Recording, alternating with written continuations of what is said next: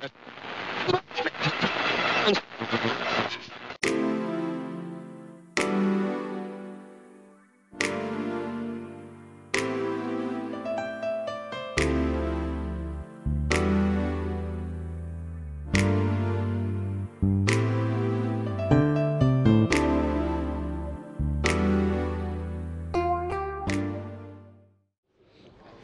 Bentrovati, ultima serata di Atto Unico, la rassegna di teatro all'aperto per attori professionisti che si tiene a Noto. Oh, lo scenario è quello incomparabile di Piazza Municipio, siamo alle spalle, largo Landolina, a due passi da Palazzo Nicolaci. E con noi e sarà protagonista dell'ultimo spettacolo che chiude la rassegna Pietro Montagna Montandon, Maruzza Musumeci di Andrea Camilleri. Ecco, l'elemento fondante della serata è proprio questa, la sicilianità. Pietro Montandon, catanese, ma le origini, lo possiamo senz'altro dire, sono netine, un testo scritto da Andrea Camilleri e ci sarà anche una sorpresa perché per la nona edizione a tono unico premierà un artista e quest'artista per continuare quel legame di cui prima è proprio un'artista eh, siracusana, Antonietta Carbonetti. Pietro Montandon e il teatro, un amore a prima vista, a vent'anni il teatro stabile, nel 76 il debutto oh, teatrale, hai lavorato con tantissimi registi, eh, hai lavorato anche per il cinema, ma io ho detto la sicilianità di Pietro Montandon, stasera a Noto, nella sua Noto dopo Catania, o prima metti pure Catania e dopo Noto, ma Andrea Camilleri un testo siciliano, Maruzza Musumeci. Sì, ehm, diciamo che la sicilianità è, è una meravigliosa sindrome no? che ci portiamo dietro. Io ho avuto la fortuna di lavorare per otto anni con una compagnia straniera che era Chance, ho girato il mondo praticamente, mi sono portato dietro la mia sicilianità che eh, eh, si manifesta poi nei tempi, nella, nel gusto, nell'energia, nella, no, nella eh, come, comunicativa, quest'idea della, della condivisione. Eh, dopo questi otto anni in cui sono stato in silenzio mi sono eh, in qualche modo voluto mettere in discussione e ho deciso di fare uno spettacolo da solo.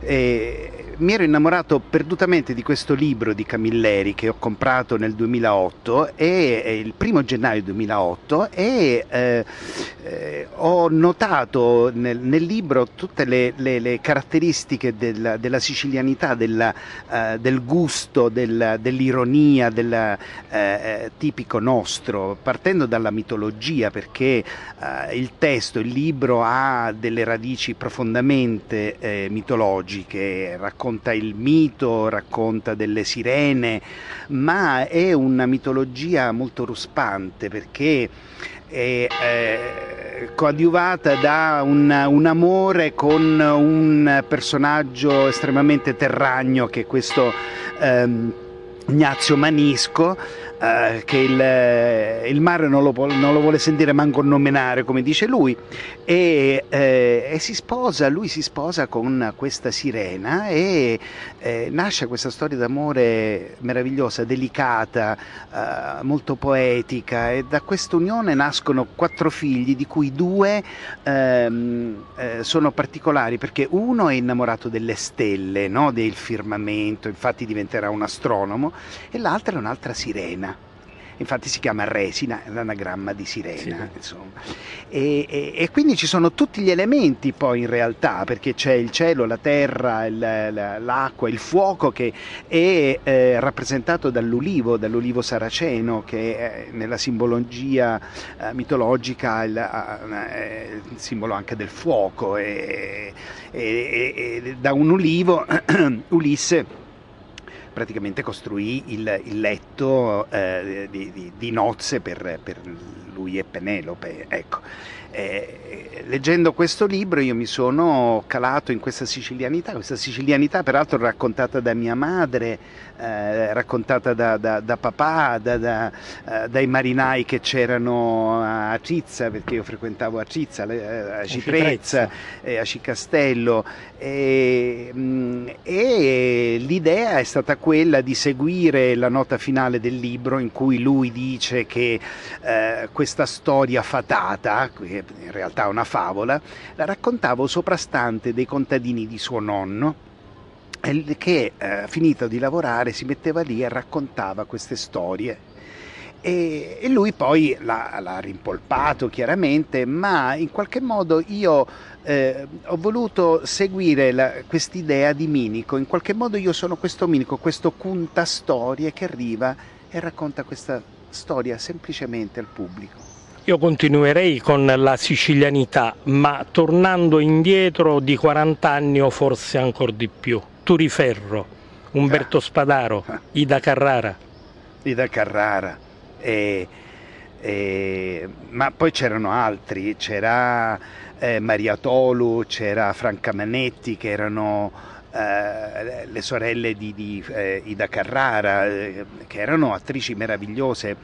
Eh, facevano tutti quei caratteri, quelle parti che, di contorno meravigliose che, che poi da, erano la colonna portante dello spettacolo. Poi c'era eh, quell'arte magnifica di Turi e, e Ida, eh, cioè andavano a volte a braccio. Io, io, ho passato i primi anni della mia vita in quinta a vedere questi mostri, mi sono portato dietro, mi porto dietro eh, quello che mi, mi hanno insegnato, anche semplicemente guardandoli. E poi ne sono venuti altri, a parte, eh, voglio dire, Umberto che era eh, con Turi, e, e, era uno spettacolo. Io mi ricordo, eh, questo piccolo aneddoto, eh, facevamo Cittadino Onofrio eh, con, con eh, Turi e, e, c'era Umberto e, c'era una scena in cui loro erano loro due da soli in scena e ogni sera era una cosa diversa perché andavano a braccio e non hai idea che cosa si inventavano tutte e due e io ogni sera era da morire dalle risate perché era, era così. E quindi eh, uno che, che, che, nasce in teatro con questi mostri sacri, eh, cioè per forza di cose no? ti porti dietro poi eh, questo, questo, gusto, questa, questa, questa, gioia anche di recitare, di, di, no? di, eh, di comunicare al pubblico questa, questa, voglia di divertirsi, ecco. Eh, ma anche facendo il drammatico, insomma per non parlare di Tuccio, per non parlare di Pippo Pattavina, per non parlare del povero Marcello che mi chiamava Petruzzo. e proprio lo scorso anno a chiusura di Atto Unico, l'ottava edizione, è stato Marcello Perracchio premiato in questa città. E scherzava lui su quel modo suo di presentarsi eh, quando c'erano le scene del commissario Montalbano e diceva non vorrei essere ricordato solo per questa interpretazione perché ho fatto tantissimo teatro e come te anche lui ha avuto questi inizi allo stabile di Catania proprio con Turiferro, Umberto Spadaro, Ida Carrara e tantissimi altri sì. artisti. 40 anni dopo la sicilianità, eh, come eh, Pietro Montandon vive la sua Sicilia anche artisticamente? Beh, la vivo con, gra con grande orgoglio. Eh, io sono siciliano, sono orgoglioso di esserlo, sono onorato di esserlo. Eh, credo che sia un privilegio perché vivendo all'estero, vivendo in giro, confrontandomi con altre culture, con eh, altri modi di pensare, la ricchezza che noi abbiamo eh, non ha eguali, ma sia da un punto di vista eh, culturale, no? Diciamo i più grandi scrittori italiani sono nati in Sicilia, no? cioè, è inutile che mi metta a fare qui un elenco, ma sì. insomma, no? da, da, Verga, Pirandello, Consolo, eh, Bufalino, Bufalino eh, Vittorini, Vittorini eh, cioè, Brancati, Brancati cioè, potremmo continuare. Potremmo, potremmo continuare, no? Eh, eh, ma a parte quello, è proprio eh, l'idea del, del, del, miscuglio delle, delle culture che noi, che noi, ci portiamo dietro, greca, bizantina, eh, spagnola, francese, certo. eh, no, araba. Eh, cioè, eh, non ci siamo fatti mancare nulla niente, in tema di denominazione. No, no, siamo stati domina... la taverna del Mediterraneo sì. in qualche modo no? e, ci, e ci portiamo dietro tutto questo e, e, questo io lo sento profondamente. Ieri, ieri, e concludo, ho fatto lo spettacolo alle 5 del mattino all'alba a Segesta. Bellissimo, il teatro di Segesta. Sì.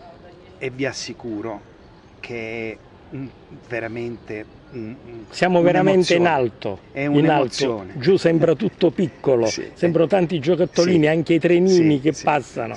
È, è, un, è un privilegio, veramente. Grazie Pietro, siamo alla Grazie fine del nostro quotidiano Grazie. appuntamento, Maruzza Musumeci di Andrea Camilleri con Pietro Montandon. Grazie a tutti, l'appuntamento è per domani.